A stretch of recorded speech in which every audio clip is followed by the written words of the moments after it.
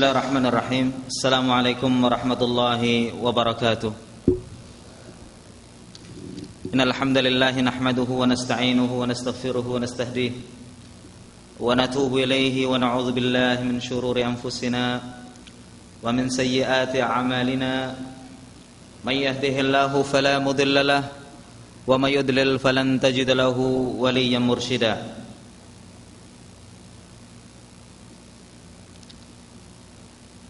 أما بعد فإن أصدق الحديث كتاب الله وخير الهدي هدي محمد صلى الله عليه وسلم وشر الأمور محدثاتها وكل محدثة بدعة وكل بدعة ضلالة وكل ضلالة في النار.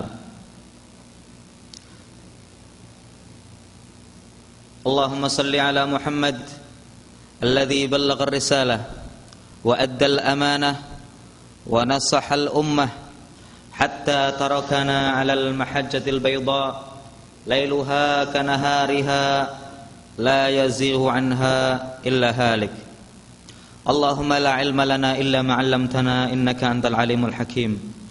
وتب علينا إنك أنت تواب الرحيم. اللهم لا سهل إلا ما جعلته سهلا. وأنت تجعل الحزن إذا شئت سهلا. Faj'alhu sahlan muyassara. Ikhwatal azza rahimakumullah, bapak-bapak, ibu-ibu, saudara-saudara yang saya cintai dan saya hormati. Pada sore hari ini saya merasa sangat berbahagia bisa bertemu dengan ustadz-ustadz dengan teman-teman yang senegara dan sama-sama sedang merantau pada hari yang paling barakah Sayyidul Ayyam pada hari Jumat hari yang paling mulia dalam satu minggu. Dan insya Allah ini adalah sa'atun mustajabah. Ini kata Rasulullah SAW inna fi yaumil jum'ah la sa'ah. Ma yuwafiquhu abdun muslimun yad'u fihi illa stajaballahu an lahu. Atau kama Rasulullah SAW bahwa pada hari Jumat itu ada satu waktu yang mana apabila seorang muslim itu berdoa pada saat itu dia akan dikabulkan doanya. Menurut pendapat yang rajih, waktu itu adalah waktu bainal asri wal maghrib min yaumil jum'ah. Itu waktu antara asar dan maghrib pada hari Jumat. Dan alhamdulillah pertemuan kita kali ini setelah asar sekalipun sisa-sisa energi yang ada sudah tinggal sedikit. Ikhwas sekalian, pada beberapa bulan yang lalu kaum muslimin digemparkan dengan sebuah musibah yang menimpa umat Islam. Musibah yang besar. Ya, kita dengar saudara-saudara kita di Aceh terkena tsunami. Kemudian baru sekitar bencana duniawi. Bencana duniawi yang mungkin itu adalah teguran dari Allah Subhanahu wa taala kepada kaum muslimin di Indonesia terutama. Mungkin juga balasan bagi mereka-mereka yang menjauhkan diri dari agama Allah Subhanahu wa taala. Tapi musibah itu tidak terlalu berat. Kalau dibanding dengan musibah yang terjadi beberapa bulan yang lalu yaitu musibah apa? Ya? Denmark oh, iya kita dengar bahwa di Denmark sana negara kafir mulhid dan memang dari dulu benci sama Islam itu turun menurun dari kakek moyang mereka Rasulullah Shallallahu Alaihi Wasallam dihina dengan penghinaan yang sangat keji dan Rasulullah SAW bari berlepas diri dari apa yang mereka tuduhkan. Disebarkannya beberapa karikatur, ya, 9 atau 12. 12 karikatur yang isinya adalah penghinaan terhadap Rasulullah Sallallahu Alaihi Wasallam. Yang digambarkan Rasulullah itu memakai sorban yang di atasnya ada bomnya, kemudian macam-macam, ada yang diikuti dengan wanita dan lain sebagainya. Ini memang kebiasaan orang-orang kufar, orang-orang ilmaniyin yang benci terhadap Islam dan ingin menjelekkan nama Islam di di dunia. Dan banyak dari kaum muslimin atau secara umum umat manusia di dunia ini, dunia internasional tidak memahami, tidak mengetahui Islam dengan sebenar-benarnya. Jadi mereka orang-orang di barat, hatta orang-orang muslim yang di Eropa, yang di Amerika itu banyak katanya yang sama sekali tidak mengetahui ajaran Islam. Mereka muslim seperti teman-teman kita di Rusia.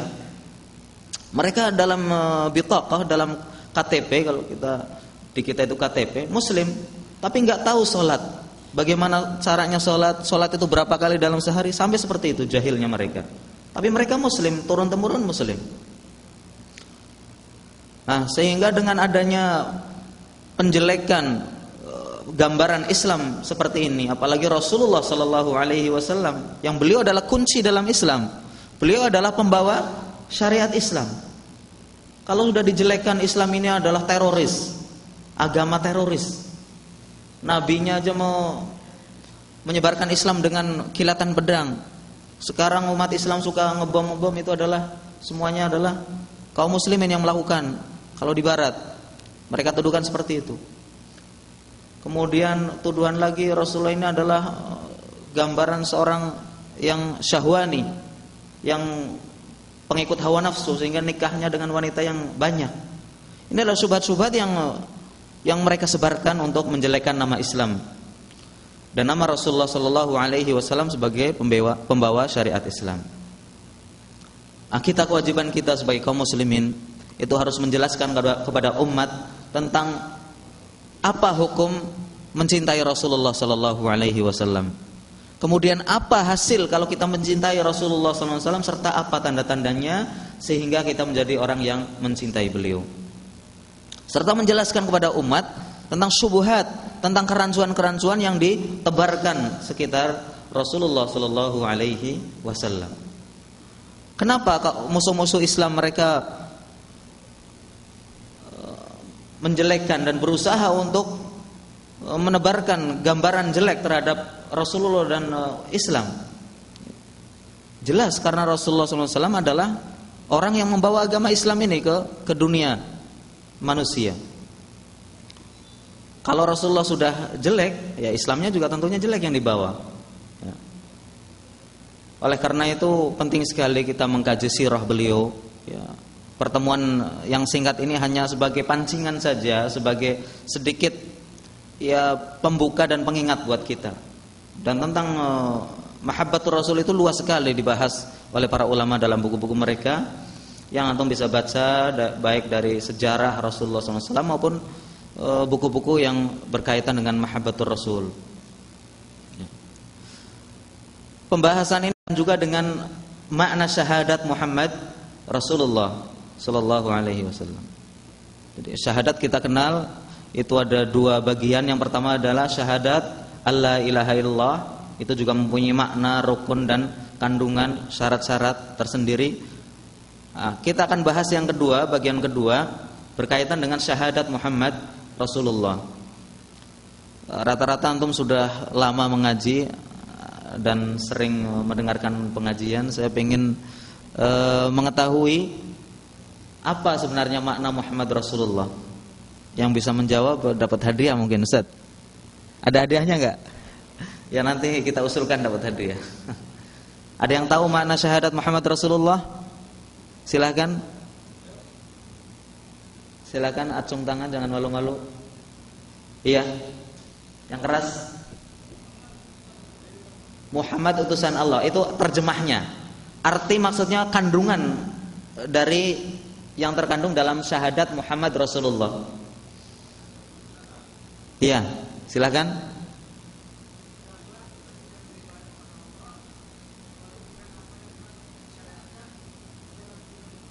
Iya, ketika kita beribadah harus mengikuti apa yang disyariatkan oleh Nabi kita Muhammad Sallallahu Alaihi Wasallam. Cuma satu atau ada yang lain? Ada yang lainnya apa enggak? Cuma satu mas. Satu saja artinya. Siapa namanya? Ahmad. Ahmad. Ingat Ahmad. Ada yang lain? Ya. taat terhadap apa yang diperintahkannya, menjauhi apa yang dilarangnya, terus tidak beribadah kepada Allah kecuali dengan yang disyariatkannya. Masih kurang satu lagi.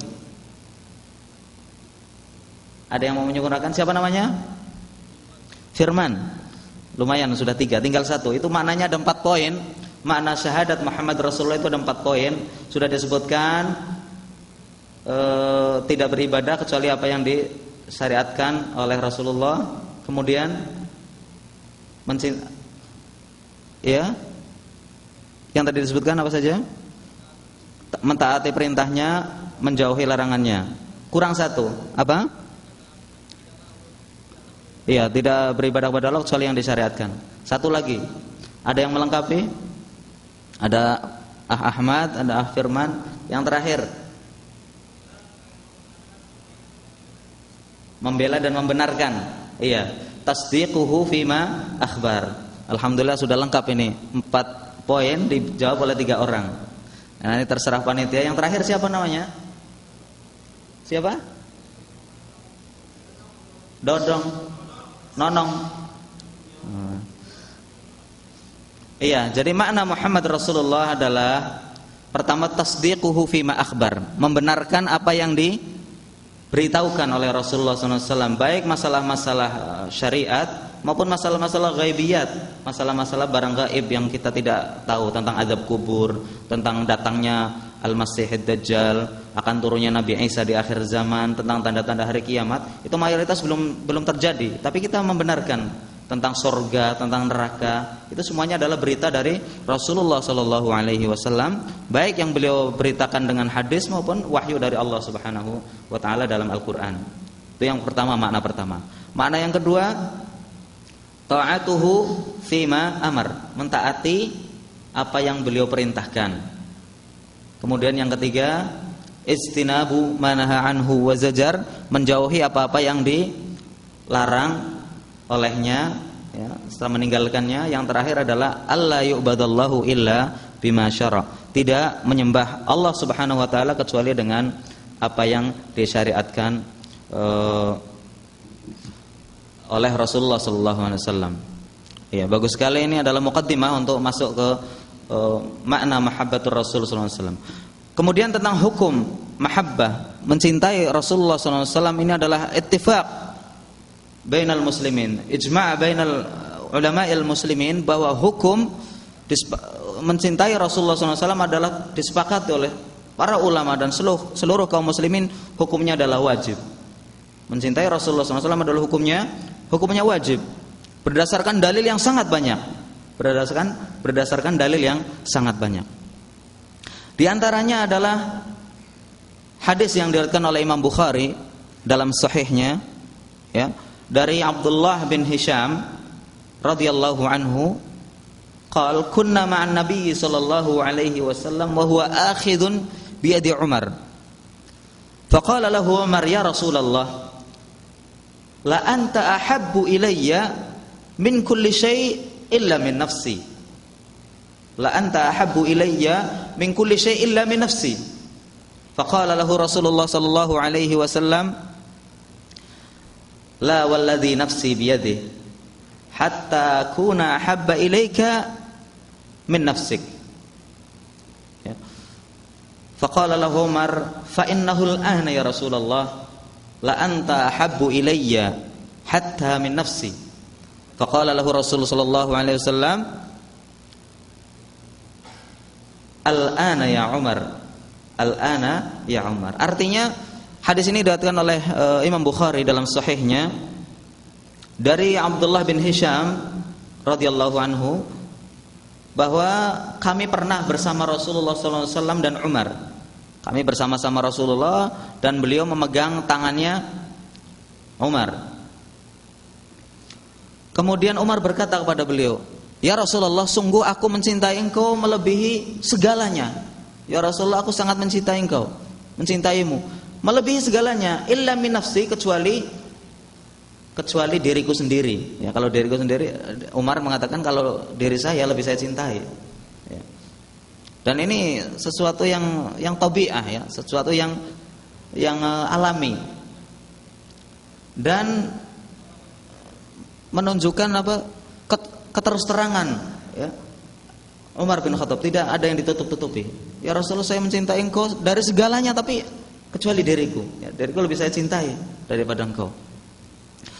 Rasulullah SAW apa jawabannya? La walladhi nafsi biyadi tidak wahai Umar demi yang jiwaku ada di tangannya yakni demi Allah.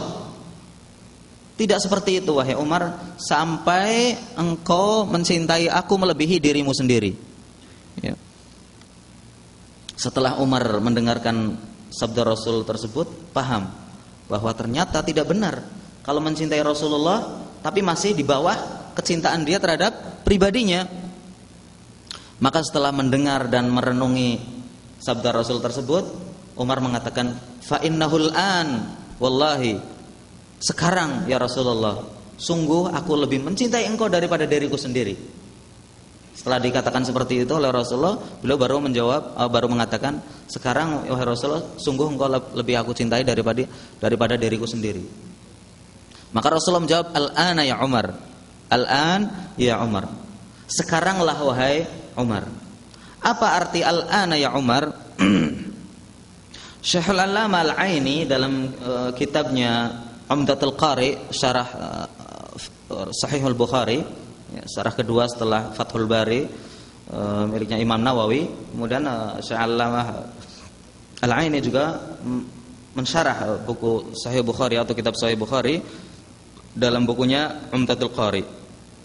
Makna la ya artinya maksudnya adalah layak mulu imanuk.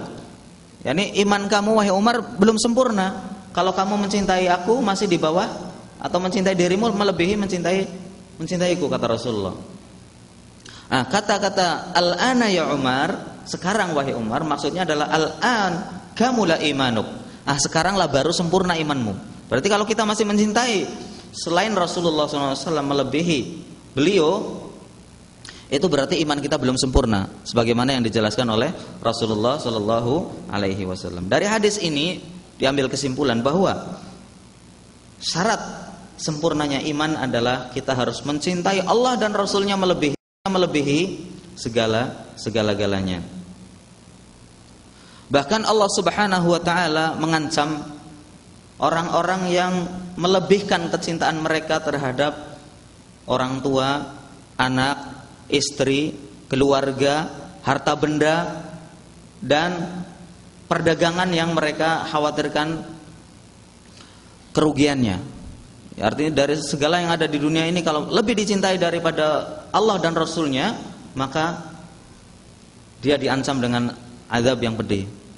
Allah Subhanahu wa taala berfirman dalam surat At-Taubah ayat 24 A'udzu billahi minasyaitonir rajim Qul in kuntum qul in kana aba'ukum wa abna'ukum wa ikhwanukum wa azwajukum wa ashiratukum wa amwalun amwalun iqtaraftumuha. Aw tijaratun takhshawna kasadaha. Aw masakina tardawnaha. Ahabba ilaikum minallahi wa rasulihi wa jihadin fi sabilihi fatarabbasu hatta ya'tiyallahu bi amri wallahu la yahdil qaumal fasiqin. Ini ancaman dari Allah Subhanahu wa taala terhadap orang-orang yang melebihi melebihkan kecintaan mereka terhadap Allah dan Rasulnya. Artinya arti ayat tersebut Qul in kana abakum katakanlah wahai Muhammad jika bapak-bapak kalian dan anak-anak kalian serta saudara-saudara kalian, istri-istri kalian dan kerabat handetolan kalian serta harta yang kalian kumpulkan dan perdagangan yang kalian khawatirkan kerugiannya serta rumah-rumah dan tempat tinggal yang kalian senangi lebih kalian cintai daripada Allah dan Rasulnya serta jihad di jalannya maka tunggulah. Fatarabbasu hatta ya'tiyallahu bi amrih maka tunggulah sampai Allah mendatangkan perintahnya wallahu la yahdil qaumal fasiqin dan Allah tidak akan menunjuki orang-orang yang berbuat fasik. Arti hatta ya'ti Allahu bi amri ya. Kata Mujahid seorang ahli tafsir dari kalangan tabi'in beliau mengatakan hatta ya'ti Allahu bi uqubatin ajilatin aw ajilah ya arti hatta ya'ti Allahu bi amri sampai Allah mendatangkan perintahnya atau tunggulah sampai Allah mendatangkan perintahnya maksudnya adalah hati-hatilah wahai orang-orang yang lebih mencintai anak, istri, bapak, keluarga, harta benda, kemudian dagangan dan hasil usahanya melebihi Allah dan Rasulnya serta jihad di jalan Allah, hati-hatilah. Karena ini terancam orang-orang yang seperti itu. Terancam dengan datangnya azab. Kata Mujahid, hatta ya'tiyallahu bi'adzabin dengan azab. Ajilah au ajilah. Baik cepat maupun lambat. Subhanallah. Dan ini bukan main-main. Ancaman dan peringatan dari Allah subhanahu subhanahu wa ta'ala. Kata Zamakhsyari seorang ahli tafsir sekalipun beliau adalah seorang mu'tazilah tapi seorang mufassir kabir ya, beliau mengatakan hadhihi ayatun syadidah. Ayat ini adalah ayat yang sangat mengerikan. La ra'asyadda minha. Saya tidak tahu lagi ayat yang lebih dahsyat dari ini. Subhanallah.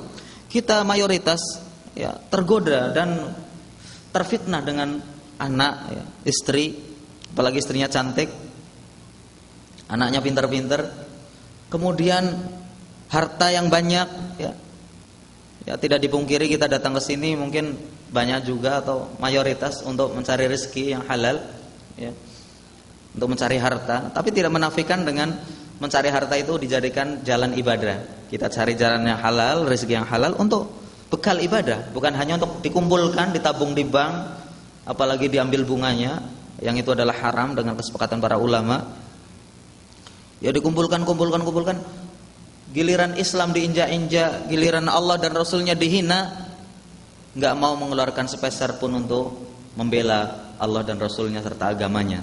Sayang, harta yang saya kumpulkan bertahun-tahun masa harus diinfakkan. Demikian juga kalau keluarganya, bapaknya, istrinya, anaknya mereka mengajak kita tidak mentaati Allah dan Rasulnya kita ikuti karena kita sayang sama mereka, kita cinta sama mereka.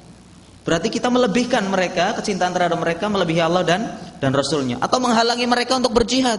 Wah jangan perang. Kalau memang ada ada fardu jihad. Jangan berperang nanti kita gimana? Siapa yang akan menafkahi kita? Tentunya berat sekali bagi seorang suami atau seorang bapak. Tapi itu semuanya harus dikalahkan melebihi kecintaan kita kepada Allah dan Rasulnya serta jihad di jalannya.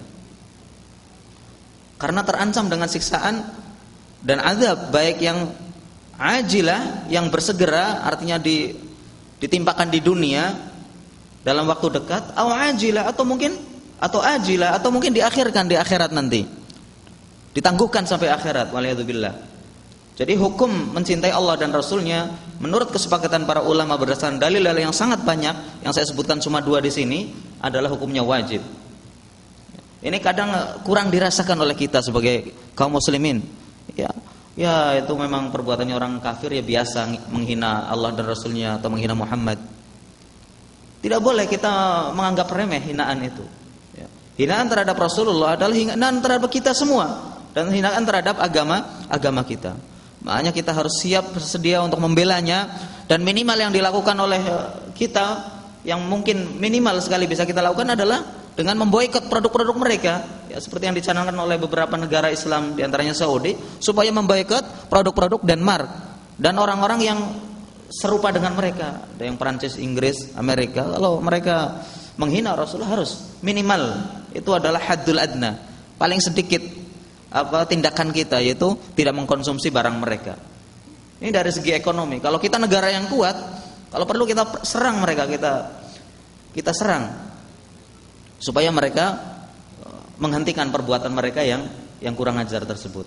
Ya. Kemudian yang kedua, yang kedua adalah tentang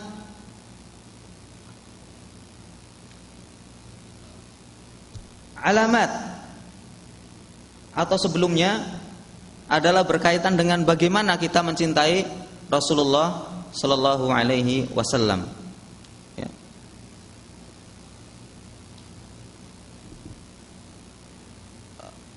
Pertama kita harus mencintai Rasulullah SAW itu melebihi segalanya.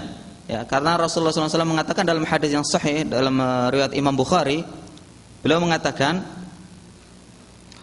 "La yu'minu ahadukum hatta akuna habba ilaihi min waladihi wa walidihi wan nasi ajma'in." La yu'minu ahadukum, tidak sempurna iman kalian atau tidak iman kalian, tidak beriman kalian sampai-sampai aku dicintai olehnya melebihi kecintaan terhadap Siapa? Hatta akuna ahabba ilaihi min waladihi dari anaknya, wa walidihi dari orang tuanya, wan nasi ajmain dan dari seluruh manusia. Kita harus mendahulukan Rasul itu di atas segalanya, di atas segalanya. Kenapa?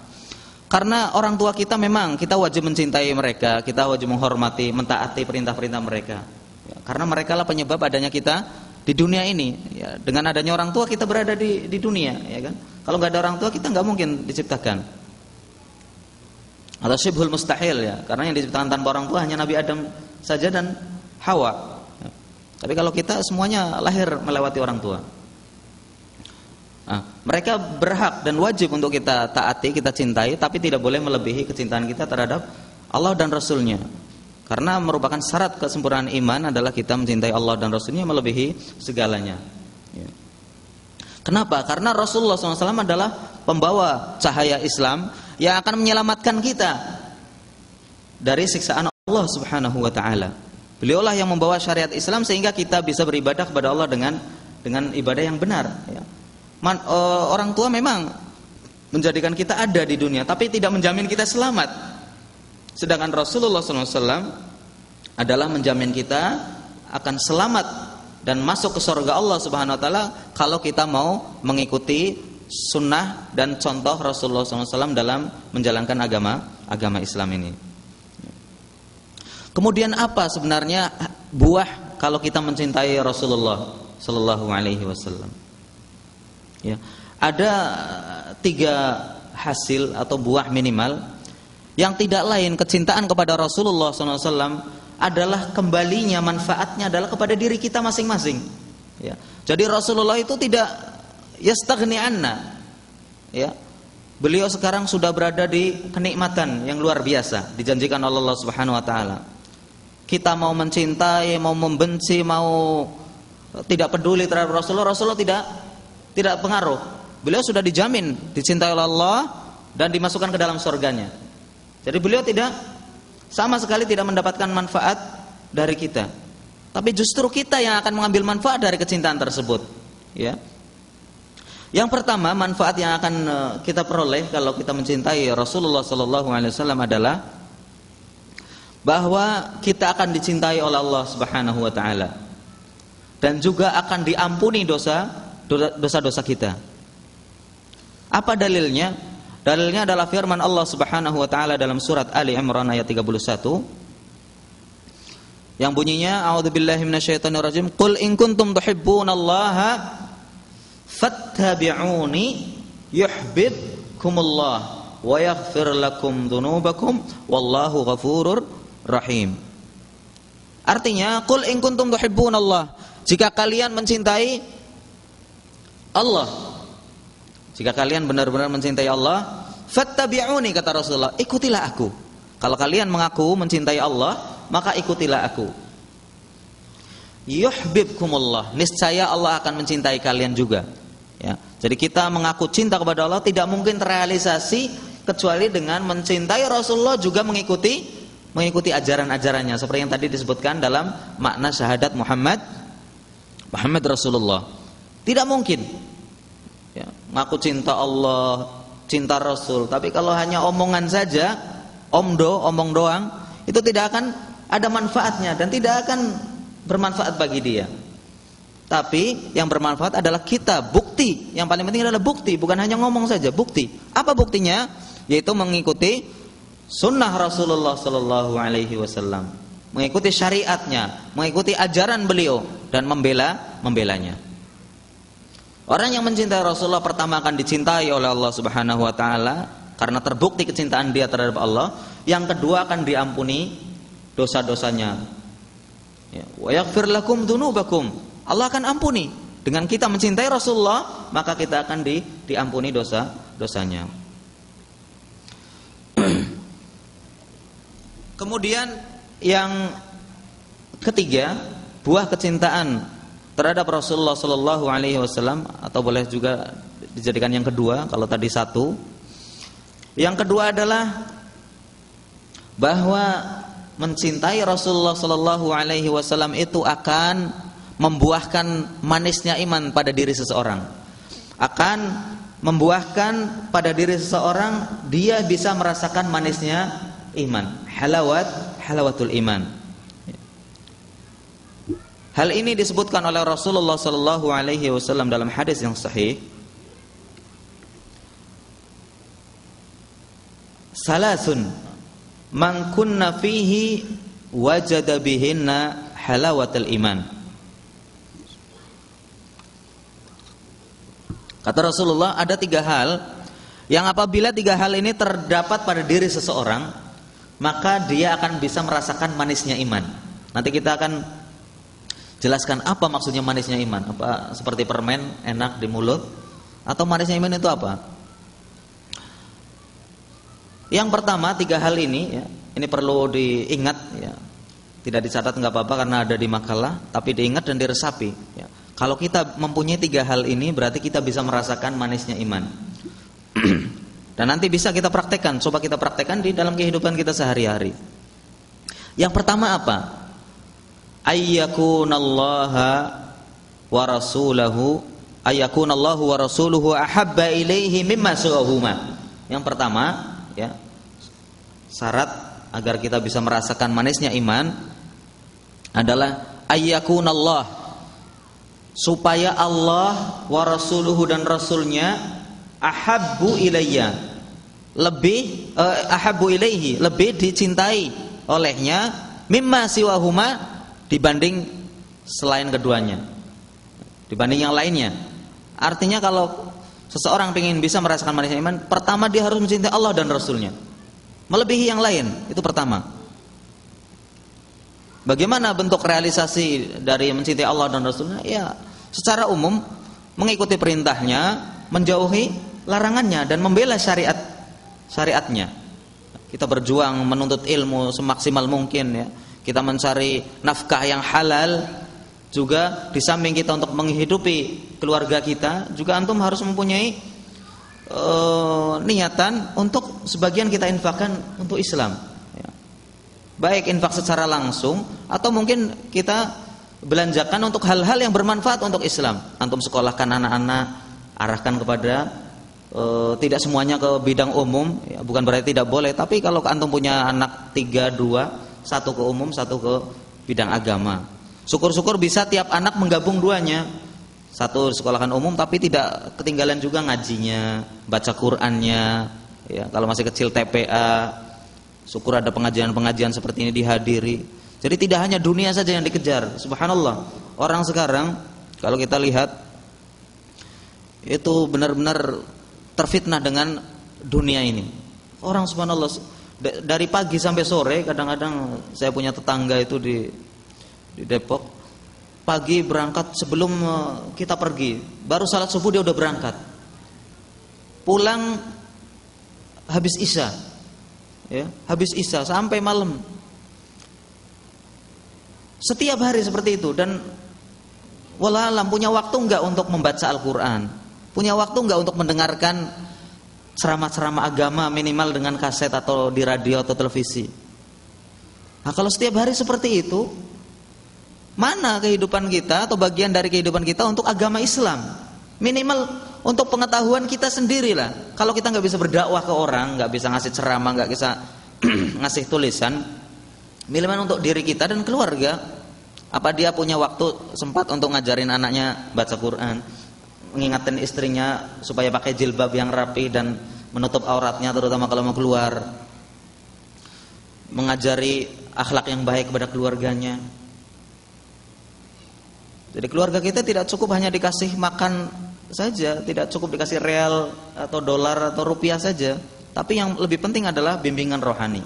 Kalau kita tidak mampu, antarkan dia ke pengajian, antarkan dia ke majelis taklim, ke pesantren, ke sekolahan, sehingga kita memenuhi hak dia, hak jasmani dan hak rohani. Mayoritas, ya, kita tidak memungkiri, mayoritas dari saudara-saudara kita adalah hanya mementingkan janib dunyawi, jasmani saja.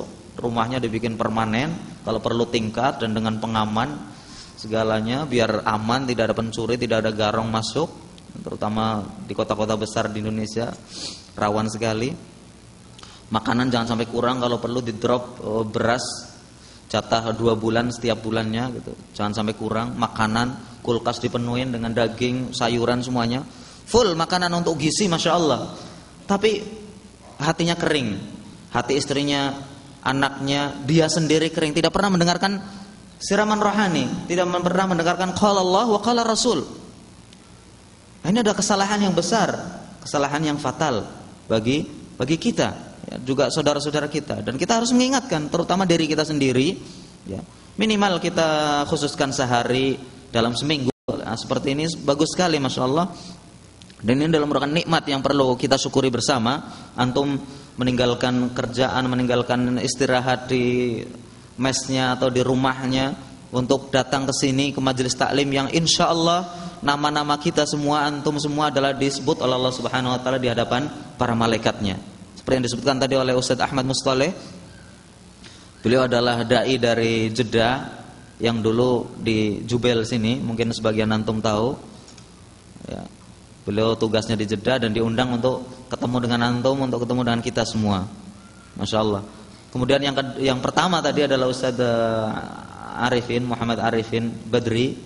Beliau kandidat doktor di Jamiah Islamiyah. Mungkin tadi belum disebutkan saya saya kenalkan karena kata pepatah tak kenal maka maka tak sayang. Jadi kalau cuma dengar ceramahnya masya Allah bagus ya dari tadi, tapi nggak kenal siapa beliau dan barangkali antum nanti ke Madinah ketemu oh pernah pernah lihat kayaknya di mana? Nah, itu namanya Ustaz Arifin itu calon doktor di Jamiah Islamiyah bagian fikih. Uh, yang mudah-mudahan sebentar lagi akan menyelesaikan disertasinya uh, itu semua adalah datang kita datang ke sini kita berkumpul di sini adalah untuk mengisi rohani kita. Sebagaimana kita diisi jasmaninya dengan kabsa, dengan kue, dengan minuman dan lain sebagainya kita juga rohani perlu diisi. Nah, minimal seminggu sekali seperti ini bagus sekali.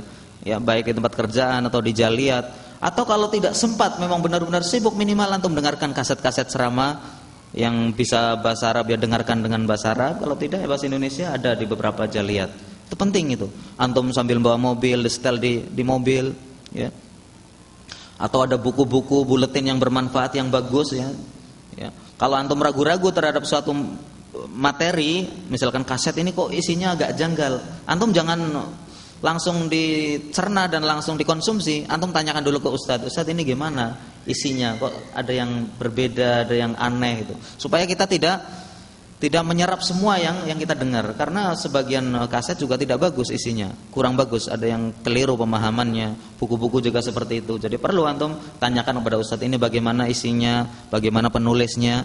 Ya layak nggak untuk kita dengarkan untuk kita ambil ilmunya? Ya karena sarananya alhamdulillah banyak sekali sekarang dari internet bisa televisi juga ada ya al majid Subhanallah, kalau kita mau, yang penting kita mau saja, insya Allah tidak tidak ada uh, kesulitan untuk menuntut ilmu itu. Apalagi bisa datang ke sini di samping kita dapat ilmu juga dapat barokah hudur, hudurul majalisil ilm, mendatangi majelis-majelis taklim. Karena malaikat sendiri ada malaikat-malaikat yang yang tugas mereka adalah keliling untuk mencari majelis majelis zikir, yaitu majelis ilmu. Mereka mencari majelis zikir keliling tugasnya dan ketika mendapatkan majelis mereka duduk bersama kita. Dan tidak mustahil bersama kita ini banyak malaikat yang mendengarkan kajian dari pagi itu. Ya. Ini adalah keutamaan yang sangat yang sangat besar. Ayyakun Allah ahabba ilaihi mimma siwahuma. Yang kedua, Allah yuhibbal mar'a la yuhibbuhu illa lillah. Kalau kita ingin bisa merasakan manisnya iman, yang kedua syaratnya adalah Allah yuhibbal mar'a, tidak menyukai seseorang. Ya, kita kan senang sama teman kan, sama teman, sama saudara, sama kenalan, ya, sama mitra kerja, senang akrab, asyik gitu ya. Allah yuhibbal mar'a la yuhibbuhu illa lillah. Tidak mencintainya dengan dorongan apa pun kecuali karena Allah Subhanahu wa taala. Saya senang berteman dengan si Ahmad, dengan si Firman, dengan Muhammad itu karena mereka orang baik-baik. Mereka masya Allah akhlaknya baik. Kalau saya ngelihat dia ingat taat kepada Allah ya. Kalau ngelihat si Muhammad ini ingat masjid. Kenapa? Karena ketemunya seringnya di masjid. Ya. Tidak seperti si Hendrik itu ketemu melihat dia selalu lagi mabok, mengingatkan ke neraka oleh. Iya. Tapi masya Allah orangnya tawadu, baik, ya, tenang, tidak sombong, padahal duitnya banyak. Saya, tapi saya senang bukan karena duit dia banyak, karena kalaupun banyak belum tentu saya dikasih. Ya. Senangnya karena dia taat kepada Allah dan Rasulnya, menjadi contoh buat saya. Itu adalah saudara saya yang akan mengingatkan saya ketika saya lalai saya keliru, mungkin malas-malasan sholatnya, akhi jangan jangan malas-malas begitu. Kita hidup ini sebentar. Kalau kita gunakan untuk malas-malasan, bagaimana kita akan selamat? Dia mungkin sering menunjukkan kita ke pengajian-pengajian yang baik, uh, majelis-majelis taklim atau bacaan-bacaan yang bagus dan lain sebagainya. Jadi, kemudian yang ketiga, uh, yang ketiga an yakrahu an ya'uda fil kufri kama yakrahu an yuqdhafa finnar. Wa fi riwayatin wa an yakrahu an ya'uda fil kufri ba'dan an qadahu Allahu minhu kama yakrahu an yuqdhafa finnar. Yang ketiga adalah dia tidak ingin kembali kepada kekafiran. Ya, setelah dia masuk Islam, setelah kita memeluk Islam, ini sama sekali tidak mau untuk kembali kepada kekafiran. Sekalipun dibayar bermiliar-miliar ya apalagi cuma sekarton Indomie ya banyak saudara-saudara kita subhanallah dulu ya walau sekarang mungkin nggak ada. Dikasih satu indomie sepuluh satu karung beras sudah jadi Kristen. Kita dulu dengar di beberapa daerah seperti Gunung Kidul ya mungkin di daerah Irian. Gara-gara dikasih makanan sudah pindah agama. Ya, waliyadzubillah itu menunjukkan lemahnya iman iman yang sangat lemah. Ya kalau kita ingin merasakan iman eh, manisnya iman maka kita harus sangat benci untuk kembali kepada kafiran. Tidak bisa ditawar dengan dunia seisinya ya untuk kembali ke kafiran. Tidak ada tawaran sama sekali. Ya. Sebagaimana dia benci dan tidak mau untuk dilemparkan ke dalam api neraka. Ya. Siapa yang mau dilemparkan ke api neraka? Enggak ada. Orang kesulut eh, obat nyamuk aja nggak ada yang mau, ya kan? Ya. Kalau nggak sengaja aja subhanallah panasnya kayak apa langsung langsung melepuh itu kulitnya. Apalagi kok dilempar api neraka oleh Billah yang semono panasnya tujuh kali lipat api dunia. Gak ada yang mau. Sebagaimana dia tidak mau dilemparkan ke api neraka, dia juga tidak mau meninggalkan agama Islam sampai titik darah penghabisan. ya makna halawatul iman, makna seseorang bisa merasakan manisnya iman itu apa? Bisa merasakan manisnya iman adalah dia merasa nikmat ketika beribadah kepada Allah Subhanahu wa taala. Bisa merasakan nikmat ketika sholat, nikmat ketika puasa, nikmat ketika ngaji, nikmat ketika silaturahmi, ketika sodako, merasa longgar, senang, tenang. Ya. Ketika kita zakat mengeluarkan zakat kita, kita nikmat benar. Ya, bukan, waduh, kalau dihitung-hitung ini gaji saya jadi berkurang berapa ini? Yang eh, seharusnya pas 5000 jadi tinggal 4700 misalkan. Dihitung-hitung secara matematik. itu berarti belum belum bisa merasakan nikmatnya iman. Kalau dia orang yang bisa merasakan nikmatnya iman, dia keluarkan 300 real misalkan dari 5000 misalkan, itu merasa pelong dan ini adalah tabungan saya di akhirat nanti. Kalau kita ikhlas itu akan di, dikembangkan oleh Allah Subhanahu wa taala sampai seperti gunung. Ada seseorang yang beramal ketika di akhirat dia waktu di dunia satu mud, satu cuma satu genggam. Tiba-tiba di akhirat mendapati pahalanya apa? Sebesar gunung Uhud. Ya Allah, dari mana pahala saya ini? Kalau boleh kita katakan eh, bebas, ya Allah jangan bercanda. Dari mana saya dapat pahala sebesar ini? Saya nggak pernah infak sebesar gunung Uhud. Kata Allah Subhanahu wa taala padanya, ini adalah dulu harta kamu yang diinfakkan yang satu mud itu saya kembangkan dan saya tumbuhkan sampai menjadi seperti gunung karena keikhlasan keikhlasan kamu subhanallah jadi kita tidak boleh e, menganggap remeh sedikitnya sodakoh infak mungkin tadi ada yang infak satu real dua real lima real sepuluh real. Jangan e, dianggap remeh. Wah tadi teman saya ngeluarin cuma satu real dari saya mau seratus. Jangan jangan dilihat dari itunya dari keikhlasannya. Kalau dia ikhlas mukhlis mungkin yang satu real itu mengalahkan seratus real. Ya. Pertama ikhlas, yang kedua jelas e, diambil dari atau diperoleh dengan cara yang halal. Jadi tidak boleh sama sekali la tahtaqiranna minal ma'rufi syai'an. Janganlah kalian meremehkan dari kebaikan maupun sedikit, sekalipun sedikit. Belum tentu yang kita anggap banyak bagus ternyata bagus menurut Allah Subhanahu wa taala. Mungkin dia infaknya tidak ikhlas karena Allah Subhanahu wa taala. Jadi merasa nikmat ketika infak, ketika ibadah kepada Allah Subhanahu wa taala.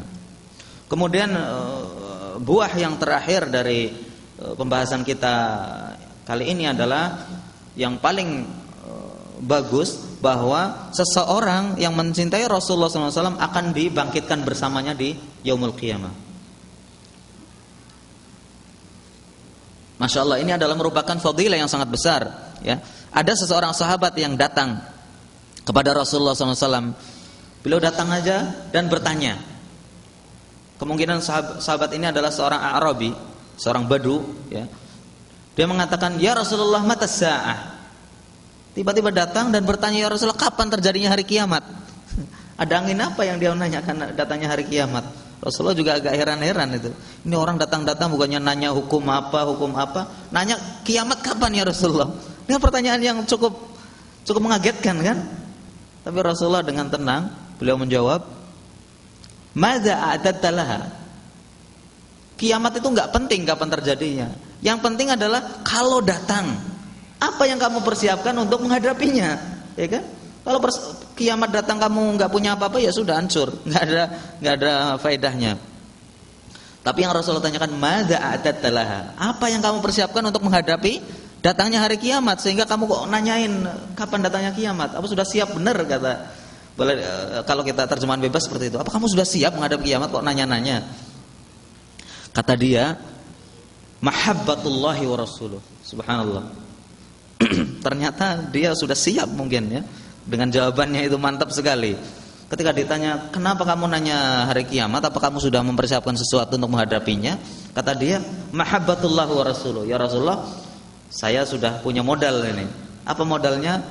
Modalnya adalah mencintai Allah dan engkau Rasulnya Jadi kalau kiamat datang pun saya siap gitu Subhanallah Dengan modal kecintaan kepada Allah dan Rasulnya Tapi bukan omong doang Bukan omdo Bukan hanya omongan saja Tapi benar-benar dibuktikan Cinta kepada Allah ya menjalankan perintah-perintahnya Cinta kepada Rasul mencintai mencintai beliau dan juga mengamalkan sunnahnya Membela beliau kalau di, disakiti Ya Kata Rasulullah apa jawabannya? Jawaban yang sangat bagus ya.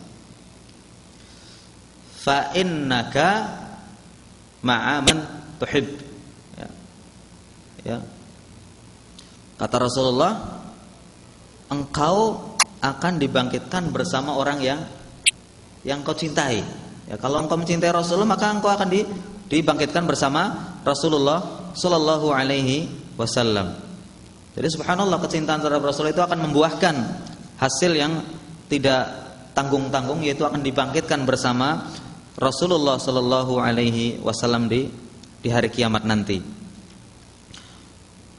Fa innaka ma'aman ahbabta ya. Sungguhnya engkau nanti akan dibangkitkan bersama orang yang kau cintai yaitu Rasulullah. Qala Anas, Anas bin Malik perawi hadis ini mengatakan, "Wallahi ma farihna ba'dal islami min qawli sallallahu alaihi wasallam fa innaka ma'a man ahbabta. Kata Anas bin Malik perawi hadis ini, demi Allah, saya tidak merasakan kegembiraan melebihi kegembiraan setelah mendengar sabda Rasulullah SAW ini, yaitu bahwa engkau akan dibangkitkan bersama orang yang kau cintai.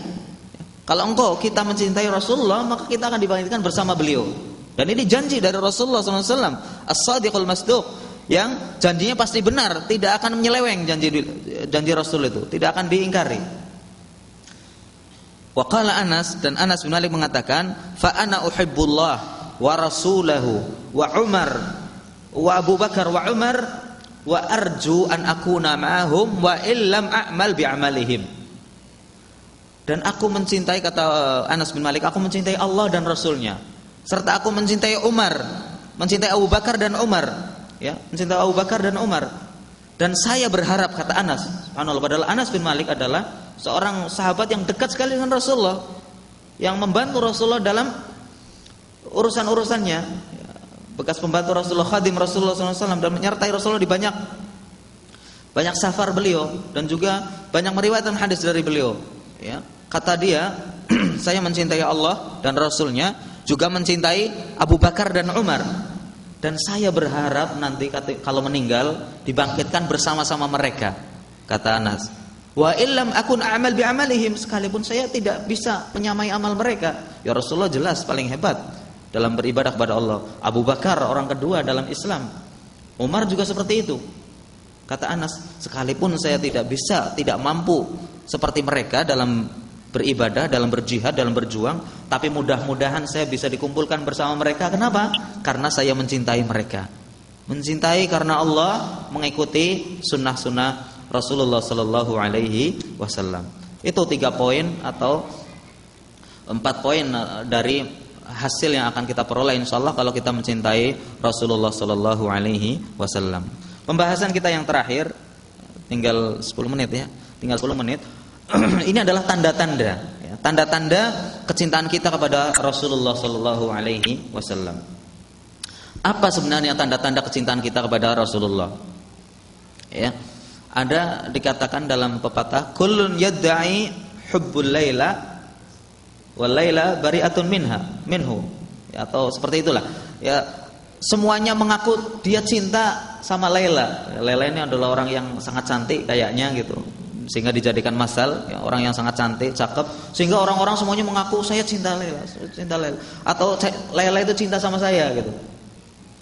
Semuanya mengaku seperti itu. Padahal si Laila ini sama sekali nggak pernah noleh sama dia ya. Semuanya mengaku cinta, semuanya ngaku Rasul, cinta Rasul, cinta Rasul sampai ada nasid cinta Rasul ya. Siapa itu? Hadad Alwi apa siapa? Cinta Rasul. Nah, semuanya ngaku, semua umat Islam ngaku cinta Rasul. Tapi apa benar-benar dia e, mencintainya atau tidak? Atau hanya sekedar omongan saja? Ya. Seperti tadi dikatakan semuanya mengaku mencintai Laila, tapi sebenarnya Laila tidak mencintai dia sama sekali. Nah, kecintaan terhadap Rasulullah itu ada beberapa tanda, alamat. Minimal ada empat, empat tanda. Tanda yang pertama adalah tanda yang pertama adalah al-hirsu ala ru'yatihi wa murafaqatihi. Berusaha dan berkeinginan keras untuk bisa melihat Rasulullah SAW dan mengikuti serta menjadi sahabat, menyertai beliau. Nah, ini tentunya bisa diperoleh oleh orang-orang yang sezaman dengan Rasulullah Sallallahu Alaihi Wasallam, dengan para sahabat, oleh para sahabat yang bisa bertemu dengan Rasulullah. Kalau kita ya, kita ingin bertemu dengan Rasulullah, kita ingin bersama dengan Rasulullah SAW nanti di akhirat, ya, ketika dibangkitkan. Ya.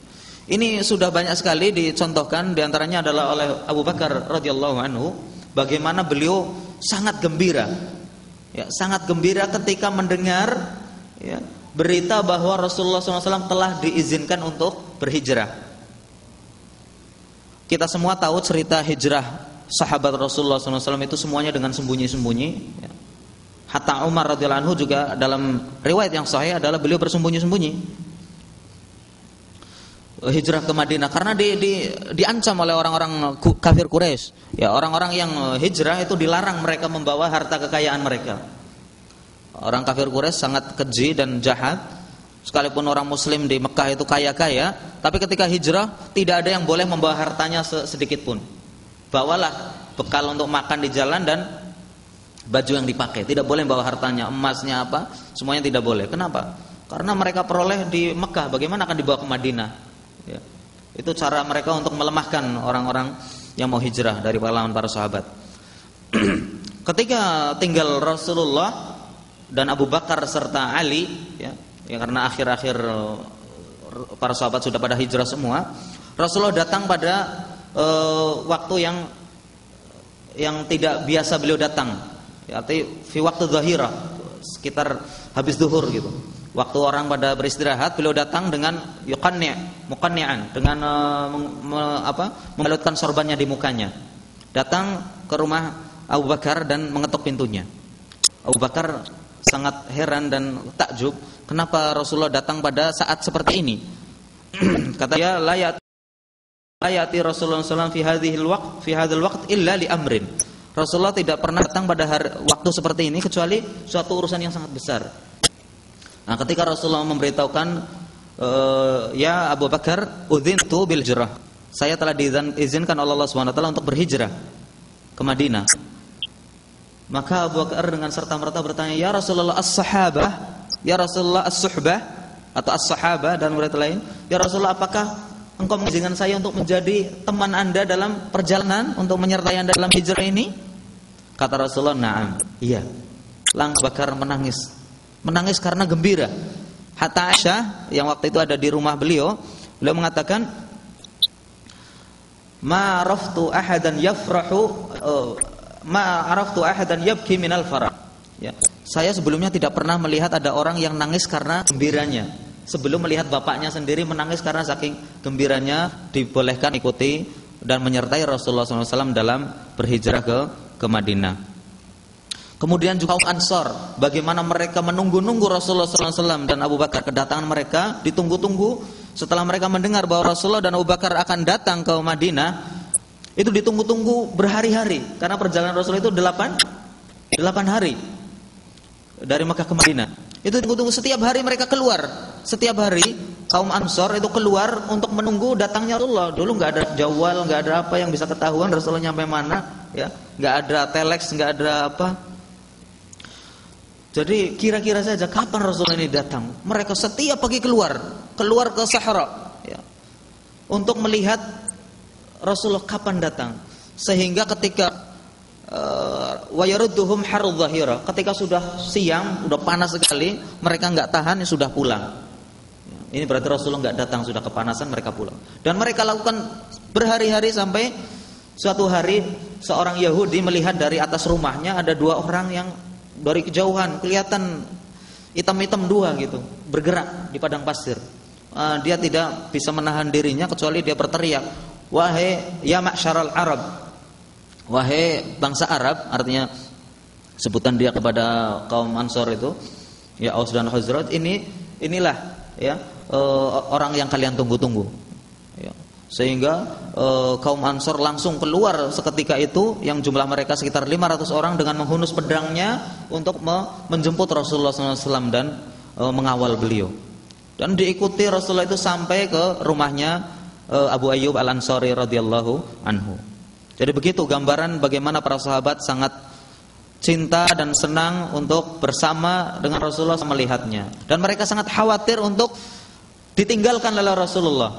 Mereka sangat khawatir ketika uh, terjadi Fathu Makkah Rasulullah kan kembali ke Mekah kan, kembali dengan membawa pasukan yang banyak dan menaklukkan kota Mekah tanpa peperangan. Kaum Ansor sudah bisik-bisik di antara mereka.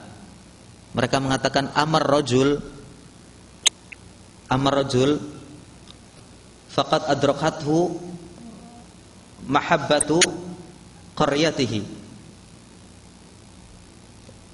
warafat aw yar'afu bi ashiratihi ya.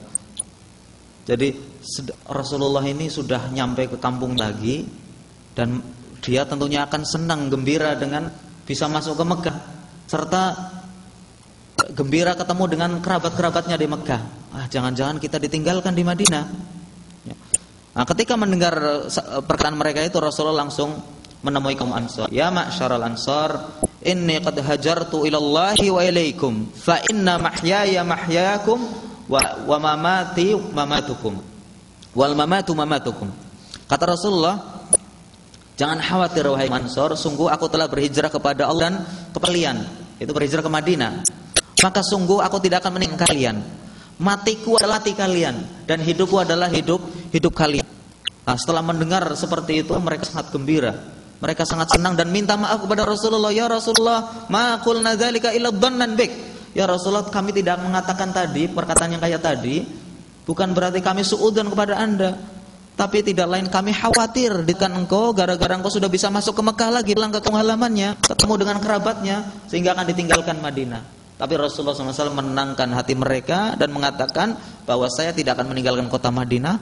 Saya sudah hijrah ke sana, saya tidak akan meninggalkan kota Madinah. Bahkan matiku adalah mati kalian dan hidupku adalah hidup kalian. Artinya Rasulullah tidak akan mati kecuali di di Madinah. Ya. Kemudian yang kedua adalah eh, tanda cinta pada Rasulullah SAW adalah adzubbu an syariati, adzubbu an syariati, yakni membela syariatnya membela syariatnya dan agamanya. Bagaimana ya, berjuang untuk menyebarkan agama Islam semampu mungkin, membela sunnah-sunnahnya, menghidupkan sunnah-sunnahnya. Tadi sudah disebutkan dari awal tentang ciri-ciri ahlu sunnah wal jamaah. Ya, bagaimana kita supaya menjadi orang ahlu sunnah wal jamaah dan bisa menghidupkan sunnah Rasulullah juga bagaimana sholat kita supaya sesuai dengan sunnah Rasulullah ya kan tadi disebutkan tentang tata cara sholat sesuai dengan sunnah Rasul ini adalah salah satu cara untuk atau tanda e, mencintai Rasulullah SAW, membela syariatnya dan juga eh, agama sunnah-sunnahnya. Ya. Kemudian eh, yang terakhir adalah kita harus siap mengorbankan segala yang kita miliki baik dari harta, jiwa untuk membela Rasulullah Sallallahu Alaihi Wasallam. Ini sudah dicontohkan oleh para sahabat ketika perang Uhud. Ya, di perang Uhud uh, kita tahu bahwa kaum muslimin terdesak bahkan kalah gara-gara sebagian pasukan Rasulullah SAW tidak taat kepada perintah beliau. Pasukan yang disuruh untuk tetap di Jabal Rumat untuk di uh, gunung untuk pasukan pemanah jangan turun. Ternyata mereka tergoda dan akhirnya turun Ya, sehingga waktu itu Hamzah uh, Khalid bin Walid yang waktu itu masih musyrik itu mengambil alih uh, dengan strategi dia, strategi perang dia yang sangat jitu, dia naik ke puncak gunung kemudian menyerang Rasulullah dan para sahabat yang sudah di bawah dengan hujan panah. Sehingga banyak sekali yang meninggal. Ya. Seperti Abu Dujana, Abu Dujana radhiyallahu anhu, beliau adalah seorang sahabat yang membela mati-matian Rasulullah SAW. Bagaimana beliau membela Rasulullah? Beliau itu menghadang menghadangkan dirinya sendiri ya untuk menjadi tameng ya, terus dirinya menjadi tameng dari hujanan panah dari atas bukit Rumat supaya Rasulullah SAW tidak sampai terkena sampai tidak terkena uh, tersebut. Ya. Banyak sekali sahabat yang mati pada saat itu demi melindungi Rasulullah SAW karena mereka saking cintanya kepada Rasulullah sehingga mereka berusaha untuk bagaimana supaya Rasulullah tidak terkena lemparan panah atau kena goresan pedang, yang penting e, mereka tidak peduli pada dirinya sendiri, yang penting Rasulullah bisa selamat. E, barangkali ini saja yang bisa saya sampaikan. Ya mohon maaf kalau banyak kekurangan atau mungkin materinya tidak terbahas semuanya karena waktu yang mungkin e, tidak mencukupi tapi insya Allah e, bisa memperluas dari membaca buku yang berkaitan dengan mahabbatul tentang sirah nabawiyah itu penting sekali. Kita bisa baca sirah yang yang sudah terjemahan itu banyak. Antum baca kita baca supaya kita bisa mengambil ibrah bisa ambil pelajaran dari mawaqif dari sikap-sikap para sahabat ridwanullah alaihim ajmain dalam mencintai dan membela Rasulullah sallallahu alaihi wasallam. Kita berdoa kepada Allah Subhanahu wa taala mudah-mudahan kita dikumpulkan sama Rasulullah wasallam serta dikaruniai untuk mencintai beliau dan membela sunnah sunnahnya. Billahi taufiq hidayah. Wallahu wassalamu warahmatullahi wabarakatuh